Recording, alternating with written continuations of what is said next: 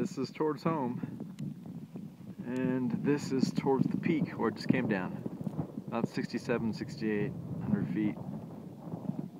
Not too bad. It's socked in so you can't see much. But that is the goal. Hit that and then take a right and it's all home from there. Little blue skies opening up right there. How gorgeous is that?